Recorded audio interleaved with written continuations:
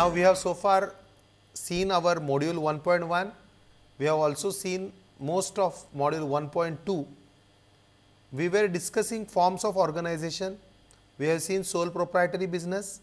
Then we have also seen partnership, uh, Hindu undivided family, partnership firm and limited liability partnership firm. Now let us try to understand the most popular form wherein the large organized business done that is known as company form of organization. As you can see here, in companies you have two types. You have a limited company, you have unlimited company. In the limited companies, there is private public companies and amongst public companies again you can have listed and unlisted companies. Now, the form of organization as a company is very unique because here a group of people come together, but it is not a partnership firm because partnership firm is a small group and partnership firm cannot be separated from a company. But in case of company what happens is company is recognized by law as a separate person and the money contributed by the owners is called as a capital of the company. But company and the owners are not same. Company is treated as a separate legal entity. It can be sued, one can file a case against the company, owners of the company are considered separate from the company. Now, the owners who put in the money in case of a sole proprietary business as you know is known as proprietor in case of partnership concern, the money which they put in known as partners. In case of company, the owners who put in the money are known as shareholders and the money which they have put is known as share capital. Some unique features of the company as we have seen that company is a artificial person with a separate entity and it has a perpetual succession. So, even if one or two or five or hundred owners come and go, the company continues forever because it is under law created and just as individual signs, company has a common seal which is recognized as a symbol of a company. Now, there are a lot of advantages of company. The most important advantage is it has an unlimited life. The management of a company is not only with the owners, they can hire professional managers, they can hire directors, they can hire CEOs. So, the management is not left with the owners, management is in a professional way.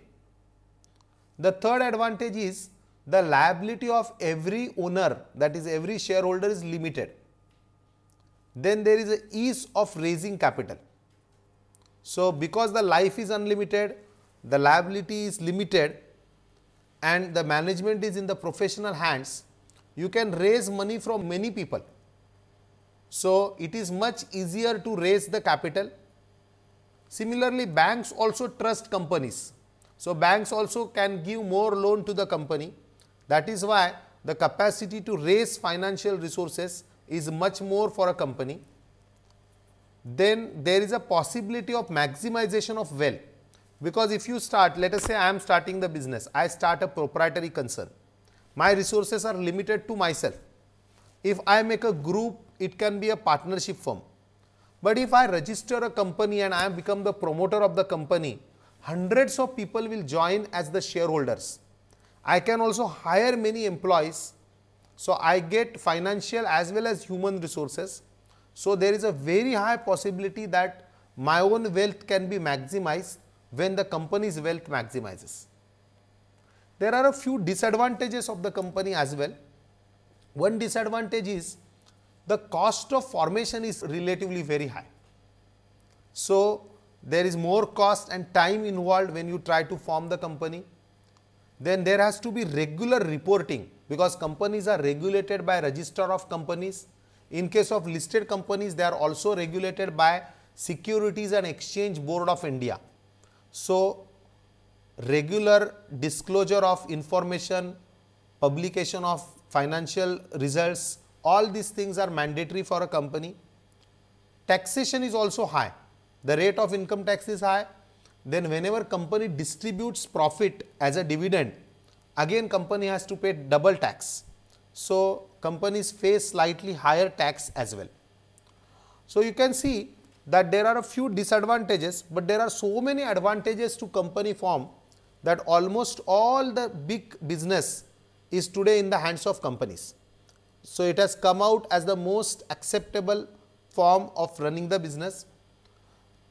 Since the market confidence in companies is high, it also helps growth of business because companies other people will give business easily to the company. Employees also are more comfortable to work in a company rather than working under a sole proprietor organization.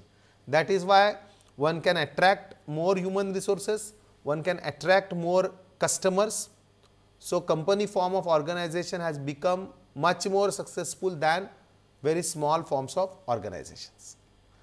Okay. Now, let us go to the next form that is known as cooperative societies. These cooperative societies are formed under Cooperative Society Act. They are also sort of business organizations, but they are mainly for rendering services to the members. So, there is a profit motive, but profit motive remains restricted because too much of profit cannot be distributed to the owners. One major difference between a company and a cooperative society is in a company form of organization, owners get the right to vote in the proportion of shares they hold. So, suppose I invest 10 lakhs, someone else invests 50 lakhs, then my share let us say vote is 1, the other person because he has invested 50 lakhs will be 5, somebody invests 1 crore will be 10. So, the voting is in the proportion of shares you hold. Whereas, in case of a cooperative society, one person has one vote.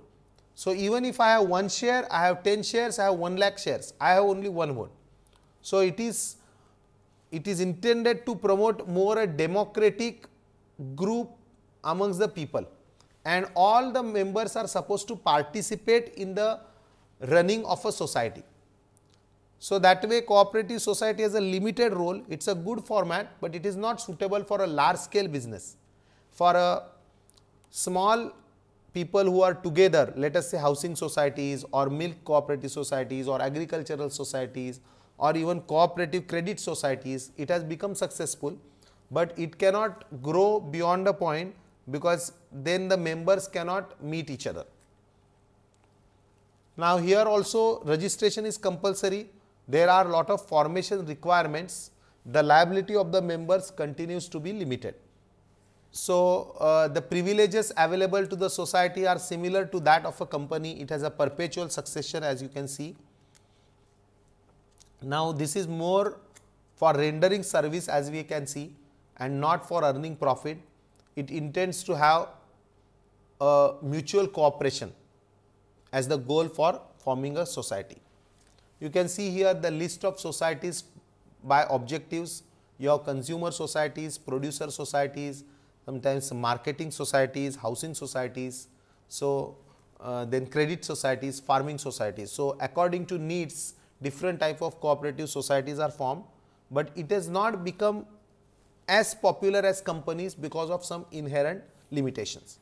As you can see the advantages are there is democratic management, some assistance is given by the government, no middleman is involved because group of say farmers can come together and market their produce or group of customers can come together and buy goods from the suppliers.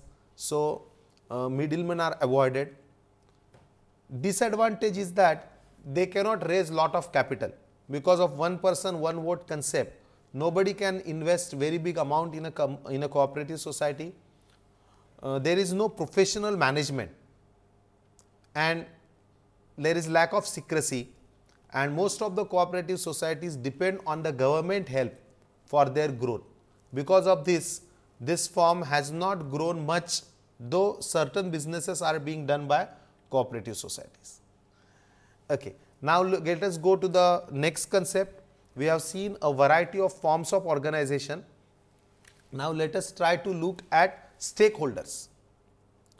As you know, accounting or financial statements are essentially for someone who wants to know the information. So, we should also know stakeholders so that we can cater to their needs when we try to make statements. Now, different types of uh, stakeholders are listed here. You have investors as a major stakeholders, then management, creditors, government, employees. So, for any business organization, you have a variety of stakeholders as you can see in this chart. Now, the most important stakeholders are the investors because they are the owners of the company. So, they have every right to know what is happening in the company and not only the current shareholders, even the prospective shareholders who may want to buy uh, shares in your company are also included in this group of owners. Some of the investors are capable of doing financial analysis, say banks, mutual funds or high net worth individuals. They study the financial statements of the company in detail and based on the study decide in which company they should invest. So, uh, especially in case of listed companies, the investor group, investor community is scattered I mean everywhere, but some of the investors take interest in studying the affairs of the company. Government tries to protect investors, particularly small investors, because the promoters or the managers should not cheat or should not take the wealth from the investors. That is the idea of most of the investor protection laws. The intention of making a lot of disclosures mandatory is also to protect the investors mainly. So, investors are one of the most important stakeholders. The second important stakeholder is management. This includes the board of directors, the CEO, the general manager or important managerial personnel in the company. These people also need to get a lot of information from the financial statement because since they are running the company to take the decisions, they should have the information. That information could be for inter-firm comparison. So, manager may want to know how is his or her company doing vis-a-vis -vis other companies. So, you can also have inter-period comparison so, this period's result, this year's result you want to compare with last year. Then you may want to study the trend of sales, say in last 8 months, what is the movement of sales, what is the movement of expenses.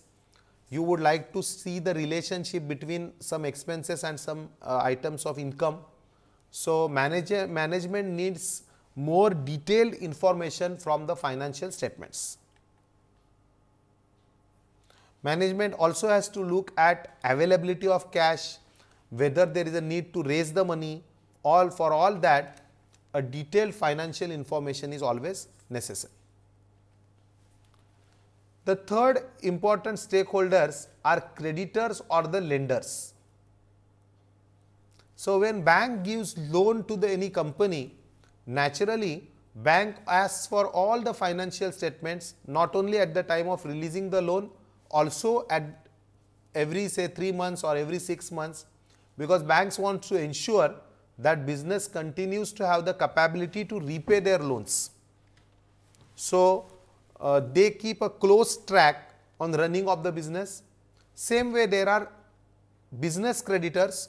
So, if there are suppliers who give say goods on credit, then business has to pay them back so, they also see what is the financial status of the company to know the repayment capacity mainly. So, financial institutions, banks, suppliers, creditors, these also become one of the important stakeholders. The fourth major stakeholder is government. Now, government again you can think of in terms of two ways of it. One as a taxation authority, you have got income tax, sales tax, excise, variety of taxation authorities and they want to examine the financial data because they want to charge tax on it. So, on the profit income tax is charged, on the sales sales tax is charged, on the manufacturing excise duty is charged or on the services provided service tax is charged. So, on all this uh, they have to keep track of the financial statement to ensure that there is no tax being evaded or avoided by the business. Same way government also has a regulatory function. So, as a regulator government needs to be looking at the fact that the business is being run as per law. So, if company is cheating its customers or if company is cheating its uh, banks or company is not properly providing services to the customers, then as a regulator government needs to have some tap on it. There are also some specialized regulators like banks, banks are controlled by the RBI, listed companies are controlled by SEBI, insurance companies are regulated by insurance regulatory authority. All these authorities ask for detailed financial information which the respective businesses have to give. The fifth important stakeholders are employees. Now, employees of the concern are also interested because their salaries are indirectly dependent on the business growth and on the profit earned. So, they try to know the financial position and many prospective employees also want to know the position because they have to decide whether to join or not to join. So, every time uh, so, to attract the talent, it is essential that company gives necessary information to the employees and also the prospective employees. Okay, so, with this our module 1.2 is over. Now, let us go to the next module 2.1. Now, in this module, we are going to study financial statements more in detail now, we have seen some basic concepts, we have also understood various forms of organization and also various stakeholders. In our module 1.1, we have seen money cycle, we have also seen very very basic about what is a balance sheet and what is a P&L account. Now, let us go little more in depth into what are financial statements and how are they prepared. Now, in the first part, we will again see the balance sheet but now we will look at it more in detail. Now, as you know financial statements are those records that provide an information of an individual or organization or also or about the business status. This could be for general purpose.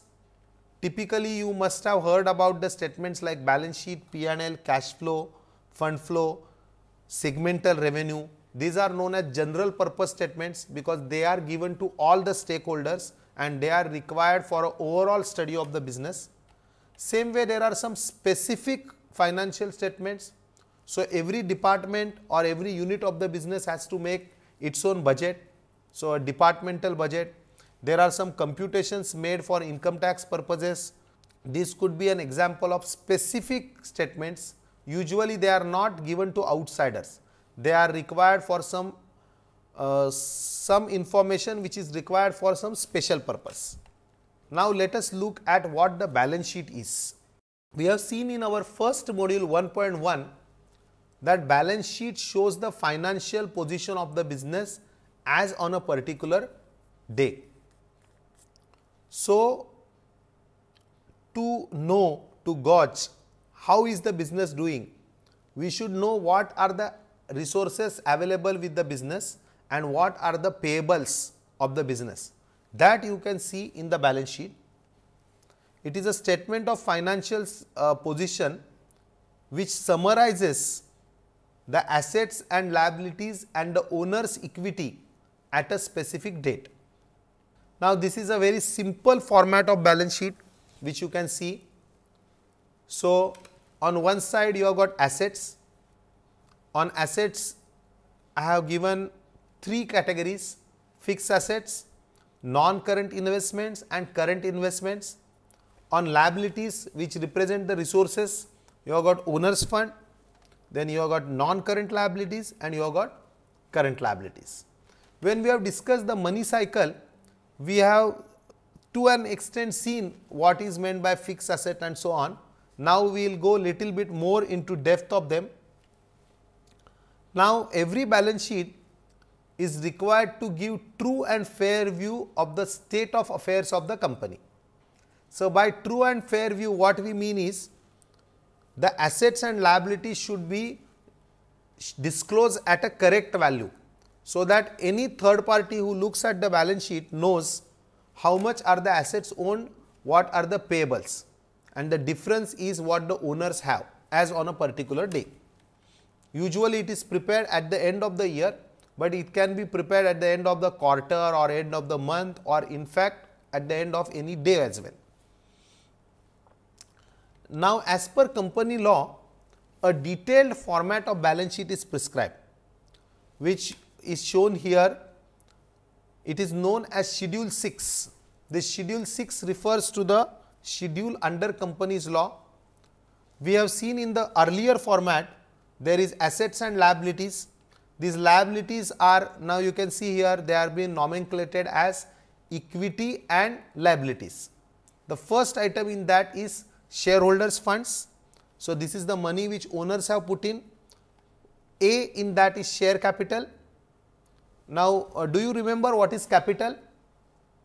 We have seen earlier that capital refers to the money which is put in by the owners. In case of company, shareholders are the owners. So, money which they put in is known as share capital. B is reserves and surplus. So, the profits which business generates belongs to the owners. So, it is shown under the owners fund and the title for it is reserves and surplus. C is money received against share warrants. Now, many times company gives right to buy the share that is known as share warrant. So, if say employee has a employee stock option under which employee can pay some money and get the shares of the company. Till the time the money is converted into shares, it is shown in the balance sheet as money received against share warrant. Once it gets converted into shares, it will be a part of share capital. So, you have got three headings under owners fund, share capital, reserves and surplus and money received against warrants. Second. Now, second heading is share application money pending allotment now, you may be knowing that company can invite outsiders to subscribe to its shares. So, if I am a company, I sell shares to the public, people pay money, I give them shares. So, the money which I collect from people till I give them shares is known as share application money pending allotment, but ultimately it will get converted into share capital. Okay. The third item is non-current liability. Now, you all must know first of all what is a current liability which is a fourth item which we have discussed earlier. Do you remember what is a current liability?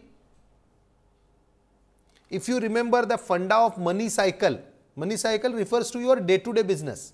So, you buy goods, manufacture something, deliver, get back your money for in a manufacturing concern, but any concern will have a money cycle. So, all those assets and liabilities which are created from money cycle or from day to day business are known as current assets and current liabilities. So, current liabilities are day to day liabilities. What are other than them are known as non-current liabilities. Let us look at current liabilities first and then go back to non-current liability. In current liability, A you can see short term borrowing. So, borrowing means loan taken as the name suggests, it is for a short term. So, suppose you take loan from bank, but you want to pay in a month's time or let us say you borrow some money from a friend, you will repay in 15 days or say 2 months. That is known as item 1 short term borrowing. B trade payables. Trade means regular business. So, if I am a company, I buy goods from someone the money is payable say after 15 days, then that is known as trade payable. C you can say C is other current liabilities. So, two liabilities we have seen. First one is short term borrowings, the second one is trade payables. If other than that, if there are any current liabilities, they are coming in C. Can you think of any other liability? other than trade creditors? Suppose you are employed somewhere. At the end of the month, the company, I am a company say, I have to pay the salary to the people at the end of the month. If I do not pay, I will pay on the 4th of say next month. then at the end of the month the salary payable is a liability and that will come under this item C which is known as other current liabilities. So, other than trade payables if there are any liabilities they are other trade liabilities. D is short term provisions. Now, what is meant by a provision? Now, what happens is sometimes I know that the amount is payable, but I do not know exactly how much is payable. Can you think of such a case? Example 1 I can tell you is every month I get electricity bill and I pay it say on 20th of the next month. Now, at the end of the current month I have not yet received electricity bill, but I am making the balance sheet. So, how much bill will come I do not know. So, based on my record of earlier months I will take the average bill and show it as a provision saying that this much amount is payable that is known as short term provisions. One more example I can give that is in case of taxes. Now, what happens is say I have to pay some tax. So, on my own calculation I calculate the tax and pay. But by chance government authority may ask for more tax. So, I am not very sure how much tax I have to pay. So, whatever calculation I make I show it as a provision. So, I got got uh, did you get it? So, under current liabilities four items were listed. The first item was short term loans taken, the second was trade payables, C was other current liabilities and D is short term provisions. So, all the current liabilities are in turn categories categorized into ABCD. So, this was one type of liability. The other liabilities are item number 3 that is non-current liability. Non-current as the name suggests these do not come from day to day business and usually they are payable after 1 year, 2 year or more. So, any liability which is below 1 year which is payable in 1 year is known as current. Say more than 1 year is typically known as non-current or a long term. Amongst the non-current liabilities, the first item is long-term borrowings. So, any loan taken, let us say I have purchased a house, I take loan from the bank, I will pay in next 15 years. Then this is an example of a non-current borrowing. Similarly, if company sets up a new factory, so for pur purchasing the machinery, they have taken loan payable after 5 years, then it is a long-term borrowing. 3b you can see deferred tax liability. Now, sometimes what happens is I have to pay tax, but I do not have to pay it in this year. I may be eligible for some tax benefit. So, I can pay tax after say 4 years. Then that is known as deferred tax benefit or deferred tax liability. C is other long term liabilities so, other than borrowing, so let us say I have taken loan, it will come in A, but I have taken some goods or say some machinery for use, I will repay it after 2 years. Then it could be an example of other current liabilities. D is long term provisions. We have seen what is a provision. So, I have to pay some money, but I do not know exactly how much I have to pay. Then it is called as a provision. You can have short term provisions under current liabilities. Under non-current liabilities, this item D is non long term provisions. Can you think of any example on this? Let us say I have got 500 employees. When the employee retires, I have to pay gratuity to the employee. But when the person will retire, I do not know. So, I also do not know the salary at the time of retirement. In case of death, I have to give some more money. I don't know when and if the death will happen.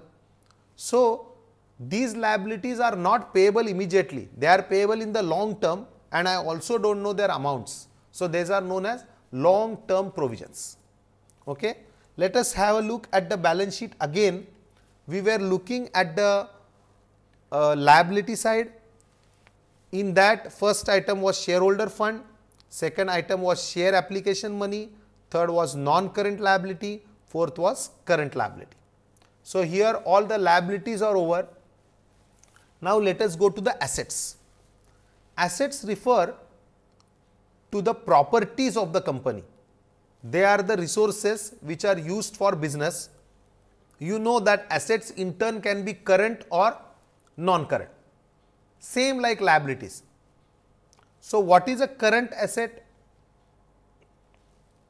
As we have seen for liability, those assets which arise from money cycle in a sense that they arise from day to day business, they are known as current assets and typically they can be converted into cash within 1 or 2 months, 3 months like that. So, they can be converted into cash within 1 year, then they are known as current assets. If they are cannot be converted beyond 1 year, then I will list them as non-current. Let us first look at non-current assets. So, item 1 is non-current in that A is fixed asset. Now, what is a fixed asset? Again if you remember our lecture in 1.1 first module, we have slightly discussed on what is a fixed asset. So, you have a money cycle which runs with the use of infrastructure. That infrastructure is referred to as fixed assets. Can you give any examples of fixed assets? I will give you one example. So, if I have a factory, naturally I have a land, I have factory building, I have some machinery, all these are my fixed assets. I do not sell them every day, I make goods and sell. But I use the machinery, I use the land, I use the building, I use the vehicles, all these are known as fixed assets. Fixed assets in turn can be of two types. You have got tangible fixed assets. So, tangible means those fixed assets which you can see, you can touch and you also have non-tangible fixed assets. Now, lot of examples I gave like land, building, machinery, which category they fall in tangible or intangible? Naturally, they fall in tangible assets. Now, there are also fixed assets which you can't see what are they? What could be the non-tangible fixed assets? Just think of. Is computer a fixed asset? Yes, the monitor, hard disk, all the printer, all the components which you can see are the fixed assets. And what about software? Software is also a fixed asset, but can you see the software? No, you can't see, you can't touch the software. So, software is an example of a intangible fixed asset. Any other example of intangible fixed asset? Many times company sells goods under some brand. So, that brand name cannot be seen, but it has a value. So, that is also an intangible fixed asset. Okay, so, these are two subcategories of fixed asset. So, under fixed assets you have got tangible and intangible. Let us go to the next one. The third amongst fixed asset is known as capital work in progress. Now, as the name suggests, it is work in progress. So, something is going on.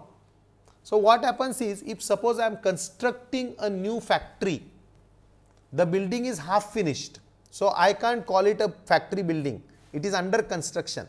Such items are known as capital work in progress. Same way, there can be intangible assets which are under development. So, suppose I am making some module of software to be used in my company. So, the software is not yet ready to be used, but it is under construction, it is being under development as we call. So, indirect uh, intangible assets under development are also an example of fixed assets. So, totally you have got four categories of fixed assets tangible, intangible, incomplete tangible which are known as capital work in progress and intangible which are under development. So, 4 A, B, C, D sorry 1, 2, 3, 4 under fixed assets. The next type of non-current assets B as you can see here is non-current investment. Now, what do you understand by investment? Now, suppose I have got a lot of surplus money, I can't use in my business so, instead of keeping the money in bank, I may keep it in the fixed deposit instead of keeping in my saving or current account, I will keep in fixed deposit. Then it is an investment or I may buy shares of some other company or I may buy some land which I can sell after many years. I do not want to use the land, but I just want to buy it as an investment. Then these are the examples of non-current investment. As the name suggests, it is non-current. So, it is not for regular buying and selling. It is to be held for a long time, then it is known as non-current investment. D, C you can see is deferred tax asset. In case of liabilities, we have seen what is deferred tax. So, what happens is many times tax provisions are such that I can pay tax after 4 years, then it becomes a deferred tax provision. This is a deferred tax asset. So, what happens is I pay have to pay tax now, but for next 3 4 years I get tax benefit. Then it is called as deferred tax asset. Deferred because I do not get the benefit right now. I make payment now, but I get benefit after 2, 3, 4 years. So, it is known as deferred tax asset. Item D is long term loans and advances. You know long term means these assets have a life of more than one year. Now, what is a loan and advance? Now, this is not a loan taken. Loan, suppose I am a company, I take loan from bank, that will be a liability. As against that, if I give loan to someone, let us say I give loan to my employees and they will repay me after 5 years, then it will be a long term loan and advance. Same way, if I deposit some money with the electricity company to get the electric connection, I have to keep deposit with them, then that is a long term loan and advance right. Item E, the last item now, this is known as other non-current assets. So, what does not fall in A, B, C, D will come in E. Now, what was A, B, C, D? A was fixed assets. I think you all know now these are the assets which I use for my business, but do not sell them. B are non-current investments. So, surplus money I invest outside my business that is a non-current investment. Then deferred tax asset. So, I have paid some tax use will be after 2-3 years. Fourth is long term loans and advance. So, loans which I have given or deposits which I have given. Now, if you leave all these 4, if there are any other than this, it is known as other non-current assets. Now, can you think of any example like that? Now, what happens is Suppose I have given my asset on lease for use to someone else, then it could be it is for a long term use for 3 4 years, then it could be an example of other non current asset.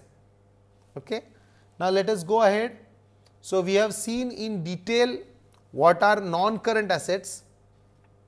You can see all 5 categories. Now, let us go to current assets. Now, what is a current asset? A is current investments. Now, you all know investment that if I have surplus money, I put that money to outsiders. I mean, I put that money outside my business, I give to someone for use that is known as investment. If it is given for less than one year, it will be called as a current investment. For example, I keep FD with a bank just for 6 months, then it is a current investment. B are inventories. Now, what is an inventory? I think you all know it is also known as stock of goods. So, if you remember that money cycle, I buy some raw material, I convert them into finished goods. At all these stages, it is known as inventory. I want to sell this in a short period of time. That is why it is called as a, it is a part of current assets. Now, C, C is a trade receivable. Now, what is trade receivable? We have just now seen trade payable. So, if I buy goods, but do not pay them, I will pay them after say 1 month, it is a trade payable.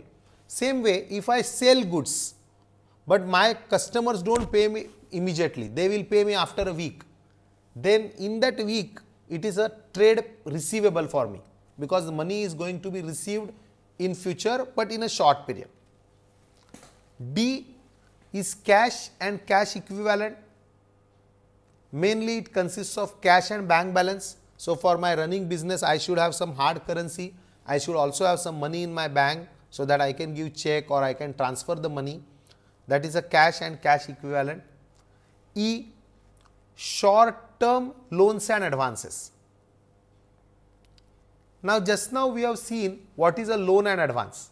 So, if I give loan to someone, it will be considered as a loans and advance.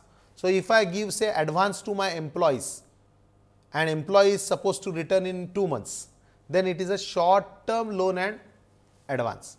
Same way to obtain let us say some permission from a regulator, I have to deposit some money, I will get it back in 3 months. It is a short term loan and advance. Okay. And last F, if anything does not fall in A, B, C, D, it will be clubbed as other current assets. So, now you can see here all assets were divided into two categories. You have non-current assets, in that fixed assets, non-current investment, deferred tax assets, long-term loans and advance and other non-current assets. Same way in current assets, you have got 6 categories. Uh, so, have you understood now all items in balance sheet? We were discussing this format as given by company law, schedule 6 of company law. Now, let us look at each of these elements slightly in detail. Broadly speaking, you can see that balance sheet has three types of items. There are assets, there are liabilities and there are owners funds. Now, what is an asset? In asset, to define an item of as an asset, certain things must be satisfied. First thing, it should have some probable future economic benefit and you can only record those assets which are owned or controlled by an entity. So, one example I have shown you here that is cash. Obviously, cash is one of the important assets. Now, apart from cash, can you list give examples of more assets? In fact, right now we have discussed many examples. So, just try to remember some more assets. Okay. We will try to see. So, you can see here land and building, then investments, machinery. Now, asset is a resource which is controlled by the entity because of past events and we expect some economic benefit from it. So, if I buy machinery, I am expecting that I can use the machinery, make some production and sell the goods. If I buy a car, I want to travel, use it for my traveling. If I buy, if I say keep money in a deposit with a bank, I am expecting that I will earn some interest and I will also get back some get back the money.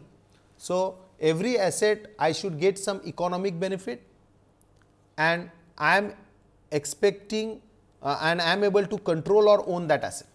Okay. To record it, they should have some cost or value which can be readily measured. Now, let us go to the types of assets.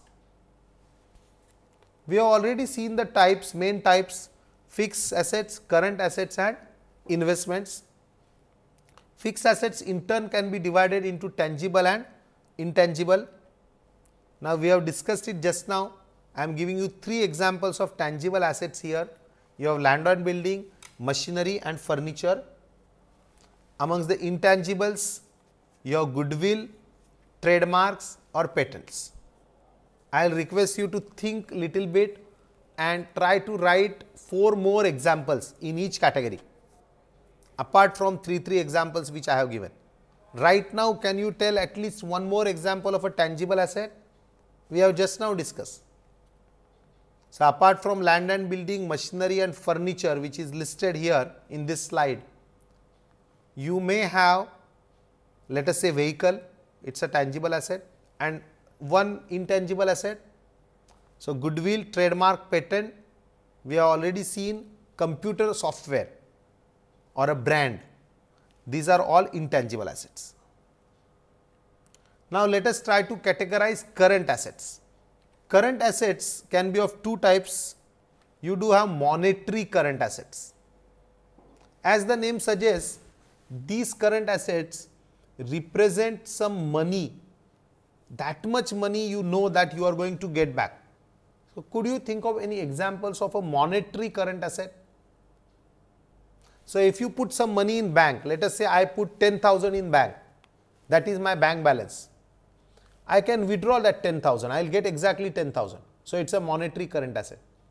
Same way if I have sold goods to customers of 50,000, after 15 days I am going to get that 50,000. So, debtors or a trade receivable is also a monetary current asset. So, you can see two examples of monetary, your debtors and bank. Same way, there is another category known as non-monetary current assets.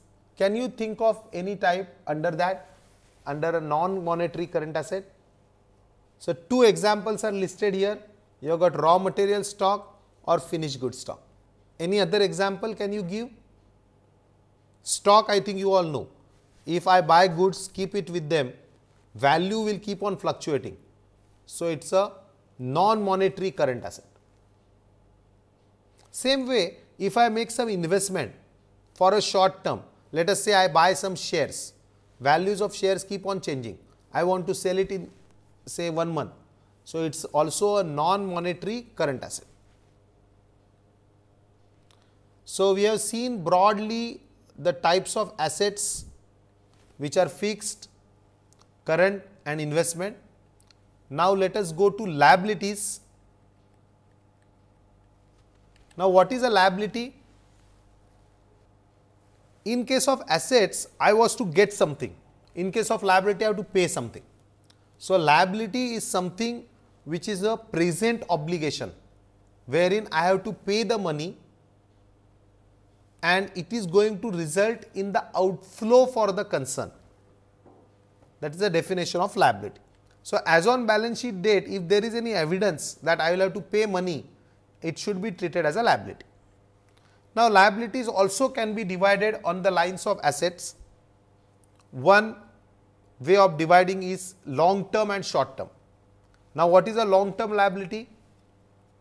These are the company's debts or obligations which are to be paid more than one year. That is why we call them long term.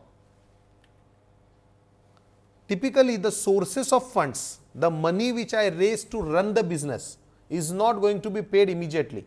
They are considered as long term liabilities. Examples are bank loan, loans taken from institutions or debentures. I hope you all know what is a loan. So, if I want to run the business, I may approach the bank. Let us say I want to start a plastic manufacturing unit. I approach the bank that I want say 50 lakhs to start a factory, they give me loan. Then that's the example of a bank loan. Sometimes instead of approaching bank, I may approach many people and they may give me a loan. In turn, I give them a document which is a proof that I have taken loan from them that is known as a debenture. Okay? This is also an example of a long term liability.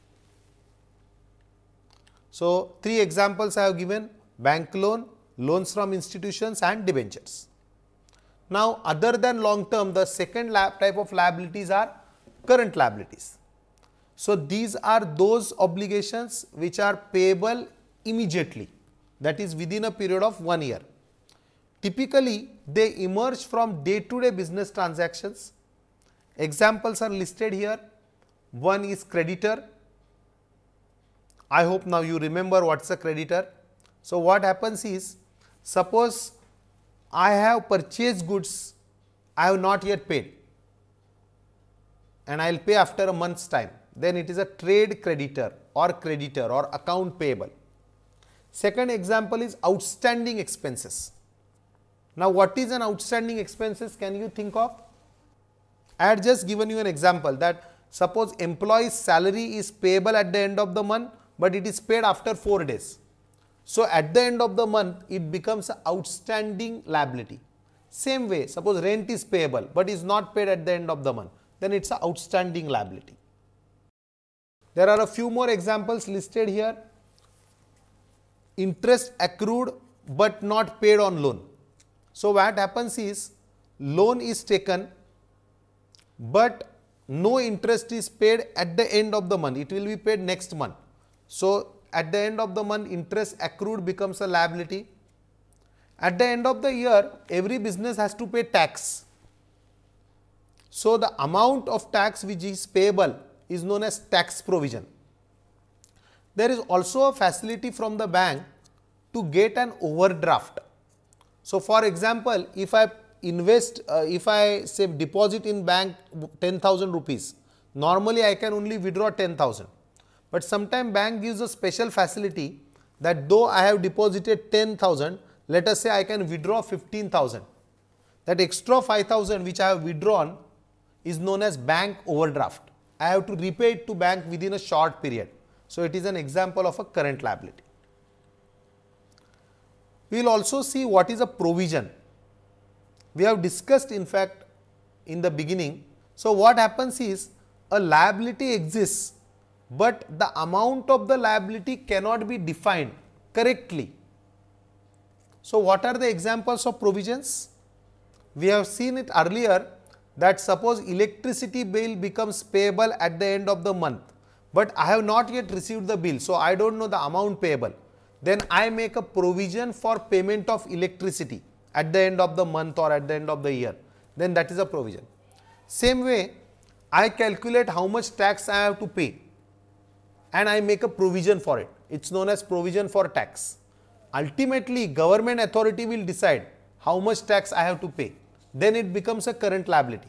But as of today, I have calculated based on my own working, it is known as provision for tax.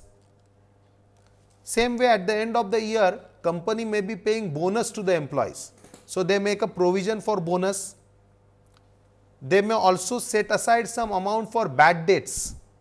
So, what happens is sometimes company takes uh, gives goods to the customers customers are to pay me after one month, but they do not pay. I am worried whether they will pay or not pay. Then I have to make a provision for bad debt. Okay, so we have seen uh, most of the all the assets and also two major liabilities non-current and current liabilities. So, we stop here for this session. In the next session, we will discuss on two, three remaining parts of the balance sheet which is contingent liability. We will also discuss about uh, what is known as owner fund or the equity and so on. So, we will stop here. Thank you so much.